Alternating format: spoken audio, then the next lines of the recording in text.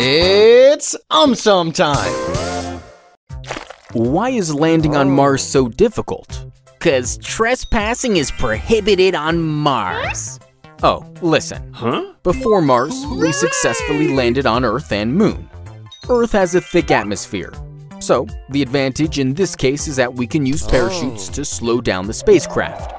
While the disadvantage is that the thick atmosphere creates frictional heating, thus requiring heat shields.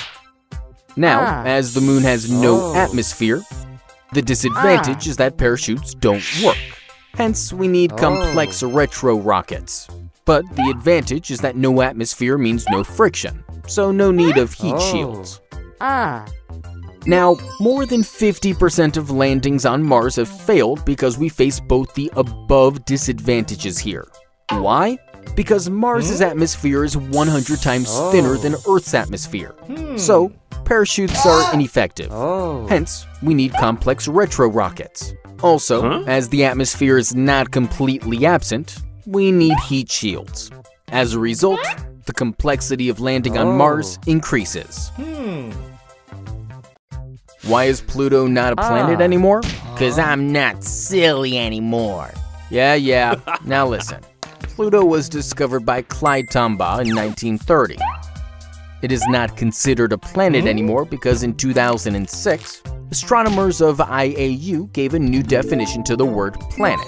According to the new definition, a planet is a celestial body, which is in orbit around the sun, is spherical in shape, and it has cleared the neighborhood around its orbit.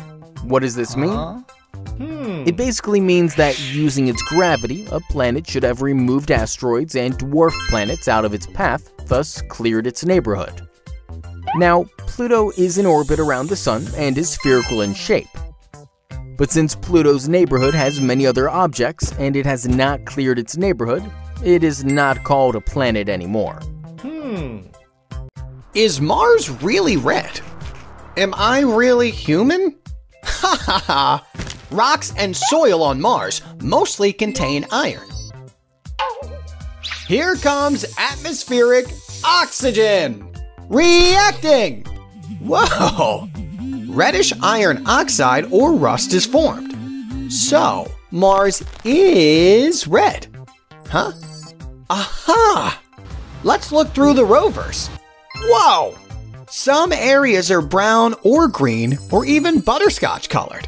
Then why does it look red? Dust storms! They last for weeks or months.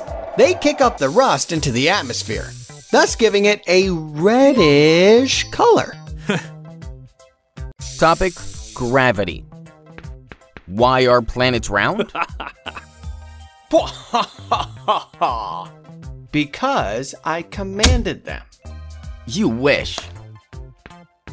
Planets are round because of the force of gravity. Huh? Gravity acts as if it originates from the center of a planet and pulls each point of the planet towards it. Hence, the only way for everything on the surface to be equally close to its center is to form a ah. round shape. Hmm. However, planets are not exactly round. They are roughly spherical. This is because planets spin on their axis. Just like a spinning top, right? Absolutely. When planets spin, things near the equator tend to move away from the center due to centrifugal force, hmm. resulting in formation of an equatorial bulge. Because of this bulge, the equator of a planet becomes farther from its center than its poles, creating a roughly spherical planet.